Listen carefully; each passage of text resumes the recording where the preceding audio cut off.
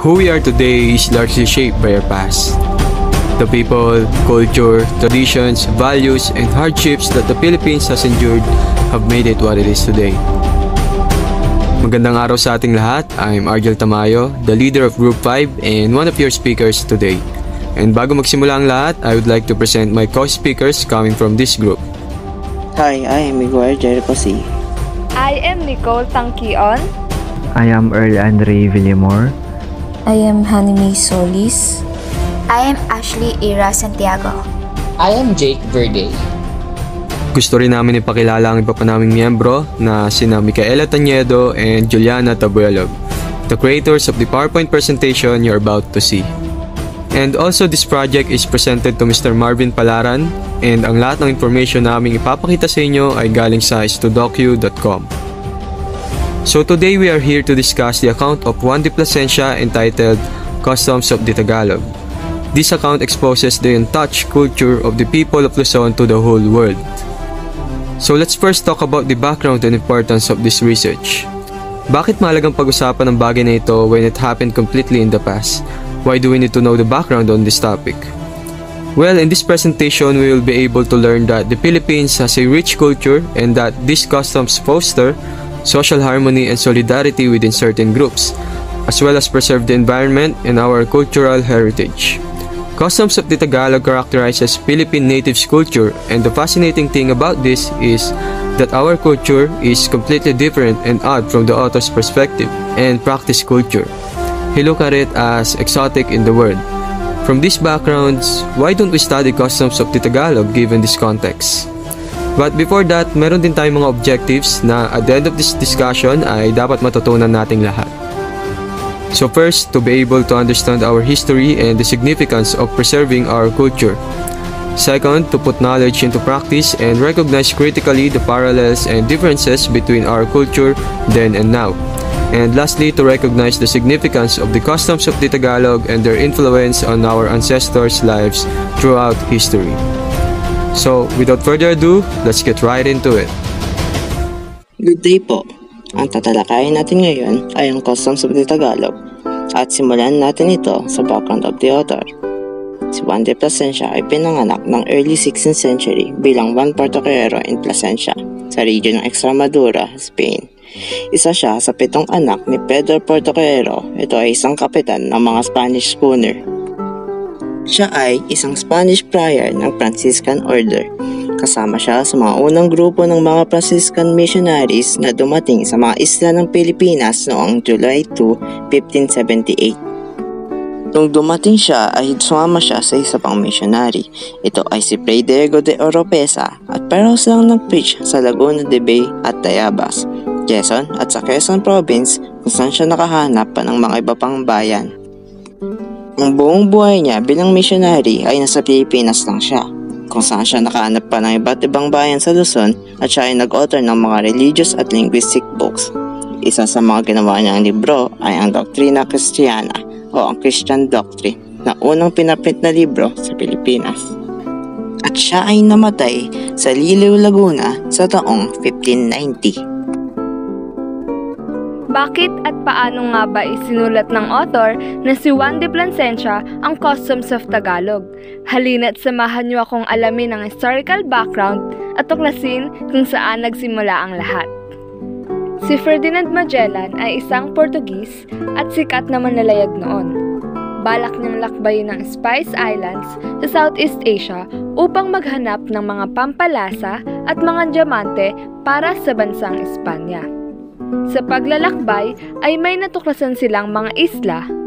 March 16, 1521 ay dumating ang mga Spaniards sa Homonhon Islands na ngayon ay kilala nating Samar at kinabukasan, March 17, 1521 ay nakarating sila sa Leyte. Ipinakilala nila ang Kristyanismo sa mga pinuno at mga tao. Nagpatuloy sila at nakarating sila sa Cebu noong April 8, 1521. Naging maganda ang kanilang relasyon kaya nagpatuloy sila sa isla ng Mactan at inakalang mako-convert din nila ang pinunong sila Pulapo sa Kristyanismo. Ngunit, hindi umayon sila Pulapo sa relihiyong ito. Ilang araw ang lumipas ay nangyari ang Battle of Mactan at doon namatay ang sikat na manlalayag na si Ferdinand Magellan.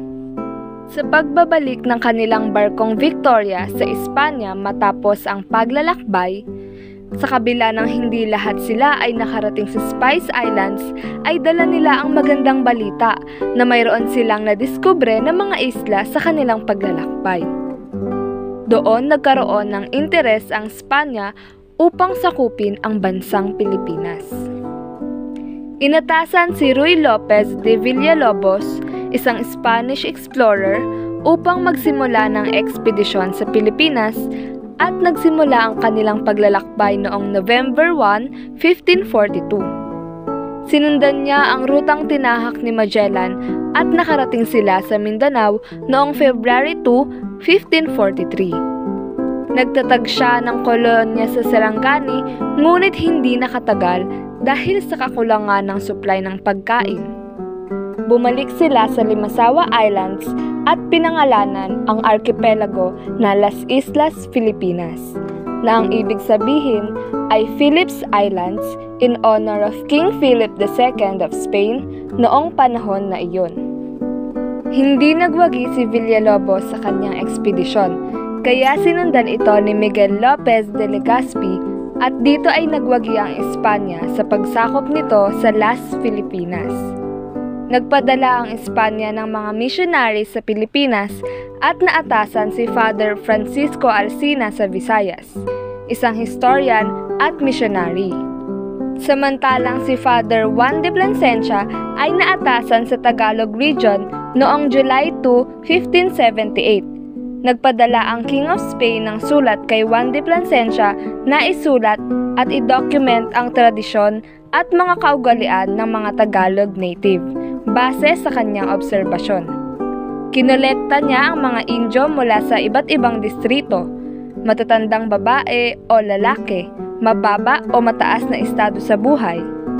Ang kanilang lingwahe at paraan ng pagsulat, pati na rin ang kanilang paniniwala at mga sinasamba, ang paraan ng kanilang pamumuhay at pananamit, paraan ng kanilang pamamahala at ang takbo ng kanilang ekonomiya. Ngayon tayo ay dadako naman sa content and contextual analysis of the important historical information na makikita natin dito sa Customs of the Tagalog. So dito sa part na ito, napaliwanag din dito ang governance o governing system ng mga native Filipino at that time na pinamumunuan ng mga dato. Ang mga ginagawa ng mga dato ay una syempre nagpapatupad sila ng batas, sinisigurado nilang may kapayapaan at may proteksyon sa kanilang nasasakupan. And ang mga pinamamahalaan ng mga dato ay umaabot sa 30 to 100 families. At kung pag-uusapan naman natin ang gera, ang mga dato rin ang tinatawag na kapitan So may tribal gathering na ginagawa ang mga Tagalog at ito ay tinawag nilang barangay. And ang rason daw dito kung bakit ito tinawag na barangay is dahil sa sinakyan nilang bangka nung nakarating sila sa lupaing ito. So dito sa contextual analysis na ito, piniliwanag din dito ang detailed description of the case system ng isang barangay na nagko-consist ng tatlong social classes which are nobles o ang mga maharlika, commoners mga aliping na mamaay at slaves o mga aliping sa gigilid and pinaliwanag din ang kanilang mga ginagawa at limitations sa loob at labas ng barangay. So pagdating naman sa mga dowries and marriage between individuals, magkapareho man o magkaiba ng estado o social classes nila, ang mga rules o ang mga dapat sundin dito ay pinaliwanag din. Kapag sinabi nating dowries, ito yung binibigay na pera o regalo ng bride's family sa bridegroom's family o sa mga pamilya ng lalaki upon marriage. O pwede ring vice versa dahil dito sa analysis na ito sinabi na ang mga lalaki ang usually nagbibigay ng dowries sa pamilya ng mga babae. So ang Placentious account ay nagpresent din ng mga rules pagdating sa dowries just in case magkaroon ng divorce. Diniscuss din dito ang division ng mga bata between spouses or nung husband or wife o ng dalawang barangays just in case magkaiba ng pinagmulang barangay yung couple. Ang Placentious account nga pala ay naglalaman ng isang comprehensive record of the rules sa pagtatalaga ng social status ng bata depende sa status ng kanyang mga magulang. And syempre meron din itong rules and regulations pagdating naman sa division ng mga inheritances o ng mga mamanahin. And lastly, meron din itong mga batas, sistensya, and punishment sa mga individual na nagkasala within the barangay, katulad nga din nung sa birth and marriage. And now, iko-continue natin yung nasimulan ng aking kagrupo. So it was also mentioned the worship of the Tagalogs, how they worship according to Placencia. And here, we're gonna focus on that subject matter. Placencia have said that the Tagalogs have no consecrated temples for the worship of their idols or batala or may kapal sa iba pang katawagan. Sa mga nayon or sa iba't ibang parte ng isla sa Pilipinas, nasabing ang mga Tagalog raw ay walang itinalagang sagradong templo na kung saan sila magsasagawa ng pagsasakripisyo o pagsamba sa kanilang batala. However, they have the name simbahan. It is a place of adoration when they wish to do a feast, which they called pandot or worship in a large house of the chief. So itinayo nila iyon for the purpose of sheltering the assembled people or iyong mga taong nagtitipon-tipon. It is a temporary shed on each side of the house with a roof called sibi to protect the people from the wet kapag umulan. So they made this house capable of containing many people. Maraming tao ang kayang makapasok o makasali. Katulad sa mga usong barko dati, nahahati ito into three compartments. Sa loob ng bahay may makikita tayong maliliit na lampara and they called it sorihile. In the center of the house naman, they placed one large lamp na pinalamuti ang dahon or leaves of the white palm na gawa sa maraming disenyo. The account provided information about the worship of the Tagalogs. In addition, sabi roon ay nagdadala rin sila ng maraming tambol. May maliliit at malalaki which they beat hanggang matapos ang fiesta which was usually nagtatagal ito ng apat na araw. So the Tagalogs also have series of idols whom they worship for particular settings. Among their many idols, there was one called Batala, whom they specially worshipped. Batala means signify all powerful o makapangyarihan sa lahat. It also signify make it of all things which they, which they worship the most. They also worship the sun which on account of its beauty is almost universally respected and honored by heathens. Meaning pati yung mga hindi naniniwala sa batala ay nire-respeto o pinupuri nila ang kagandahan ng isang araw o sun. They also worship the moon, especially when it was new, at which time they held great rejoicings o kagalakan kung tawagin, adoring it at binibigyang pugay nila ang pagdating nito. The account was able to indicate that the natives have no established division of years, months, and days, only the recognition of sun time and water time. So natutukoy lang daw nila ang oras through land cultivation by phases of the moon and sa pagbunga ng mga prutas at mga pagbabago ng mga dahon. As mentioned, the Tagalogs also have a manner in adoration, offering, and sacrifice depicted in the document. There is a proclamation of feast and offering to the devil of what they had to eat. So this was done in front of the idol which they anoint with fragrant perfumes such as musk and civet or gum and aromatic woods and praise it in poetic song by the officiating priest male or female who is called katolonan. At ngayon, tatalakayin natin ang ilan pa sa mga itinala ni Placencia ay ang alagad ng demonyo or priest of devils. Tinala niya dito ay yung 11 na alagad ng mga demonyo. Una dyan ang katolonan o pangunahing naghahandog para sa kapistahan o sa demonyo. Pangalawa dito ang manggagaway. Pag sinabing manggagaway, ito ay pwede siyang maging dahilan ng pagkamatay ng isang tao. Pangatlo, manyisalat. Pag sinabing manyisalat, ito ay para sa mga mag-iibig, halimbawa sa magkasintahan, hindi niya nakaya yung relasyon so dito siya humihingi ng tulong para pigilan ng pakikipagtalik o kaya yung kamuhian siya ng isang tao. Pang-apat ay ang mankokolam. Ito daw yung naglalabas ng apoy na hindi namamatay according to Juan de Plasencia. Pwede rin siyang makapatay ng tao or sa kanyang mga salita. At panglima, ang hokloban.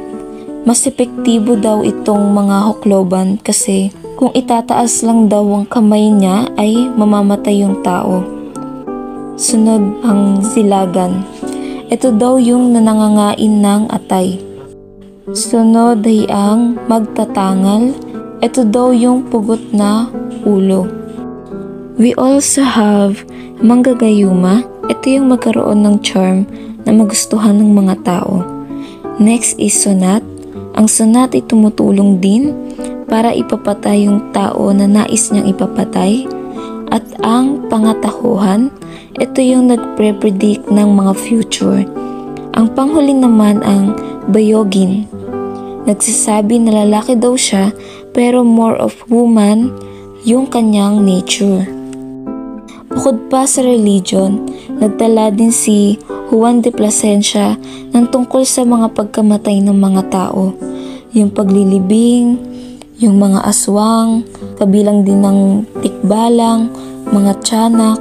So tinala din dito, nakasaad din ng anyo ng paglilibing ng mga ita o negrilyo o negrito. Dagdag pa rito, naniniwala din ng mga ita sa isa pang kabilang buhay na tinatawag na maka at isang lugar ng kalungkutan na tinatawag na kasanaan kung saan nakatira ang mga demonyo o satans. Isa pa, para sa mga ita, walang pumupunta sa langit kung saan ang Diyos lang ang nakatira. Ang maka o paraiso para sa mga taong makatarungan, magiting, matuwid sa moral at banal. Pangalawa ang kasanaan o lugar ng kaparusahan, dalamhati at pagdurusa. Isang lugar ang dalamhati para sa masasama kasama ang Diablo na tinatawag na Satan. Pangunahing deskriptibo ang salaysay ni Plasencia dahil ito ay dapat maglarawan sa pang-araw-araw na buhay ng mga Tagalog. Ang orihinal na gawa mismo ay mga obserbasyon at paghusga. Sa makatuwid, malamang na ang akda ni Juan de Plasencia ay maaaring maglaman ng pagtatangi sa paglalahad ng kanyang mga obserbasyon at pagtatasa. Now that we already discussed the historical background of the document, the content and contextual analysis of the important historical information found in the customs of the Tagalog, we will now discuss about the contribution and relevance of the customs of the Tagalog in understanding the grand narrative of Philippine history. The customs of the Tagalog, which were written by Juan de Plasencia, have given us the chance to recognize and understand the practices that our fellow Filipinos have performed and experienced before, which serves us as a basis for historical reconstructions of Tagalog society. The detailed insight and information in this text contain a collection of our culture, beliefs, traditions, and customs. They are also used to inform the Filipinos about the discrepancies and similarities of our culture then and now. Juan de Plasencia's work provides vivid imagery and information that allowed people to examine and compare this with other accounts of succeeding periods and significant events in Philippine history. Have you heard stories about the aswangs? Manananggal, tikbalang, mangkukulam, tiyanak, or any other aswang? Well, aswang are one of the most feared monsters in the Philippines.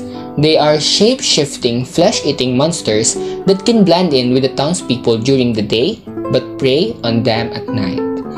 This belief in aswangs is just one of the many superstitions and beliefs of Filipino people. In the 16th century, before the Spaniards arrived in the Philippines, most Filipinos live in a well-organized small independent towns called barangays, each headed by a local supreme ruler called a datu. Nowadays, the concept of a barangay is still evident. Barangay still serves as the smallest unit of government in the Philippines. The modern barangay is governed by the punong barangay or barangay chairperson, addressed as kapitan, a term similar to datos in the past. The costumes of the Tagalog by Plasencia proves that we Filipinos already had our own set of traditions, costumes, practices, beliefs, and government that we abided by even before the Spaniards colonized our country. This work of Plasencia shows that some of the habits and beliefs from the 16th century are evidently still in use by most of us Filipinos today, including superstitions and beliefs in the legendary creatures. This documentation of Juan de Plasencia entitled The Costumes of the Tagalog debunks the claim of some Spaniards saying that locals were uncivilized and lacking in culture. The Philippines was already rich in terms of its costumes, beliefs, practices, and local cultural histories, like garments, gold ornaments, houses, and idols, even before the Spanish first occupied it. The way the Tagalogs lived their lives during the pre-Spanish era is something that is comparable to Southeast Asian civilization and culture. At dito na nagtatapos ang aming presentation about the account of Juan de Plasencia entitled Customs of the Tagalog. To sum up our discussion, here we have talked about the author Juan de Plasencia, where he lived, how the literature came to be, and how he was tasked by the Spanish king to observe the natives and what they dealt with in their lives. He has talked in detail about what the livelihood of the Tagalogs back then was, and with the help of his work, Juan de Plasencia has written about the laws and regulations they had in a barangay, like marriages and divorces, their spiritual beliefs, and the superstitions they had about certain things. For our take-home message, through the literature, we were able to learn more about the ancient lives of people living in Central Luzon. It has continued to serve us as a basis for reconstructing Tagalog society. The literature has provided enough knowledge for us to learn more about the old customs and traditions of the Tagalogs back then. It showed us the differences and similarities between our culture in the past and the culture that we have now. Even today, there are practices that are still implemented, such as beliefs in superstition and others. It even showed that we are capable of having an organized system and laws even without being colonized. And until now, barangays are still present. They are still following the same laws and regulations from before, but they have been modernized and made more strict. It disproves the claim that Filipinos were uncivilized and that we lack culture. Through what Juan de Plasencia has written, it shows us that Filipinos had been thriving on their own and that we were already culturally rich and capable before the Spanish came into our country. Thank you for staying with us and for lending your ears. Have a great day ahead. Hanggang dito na lamang.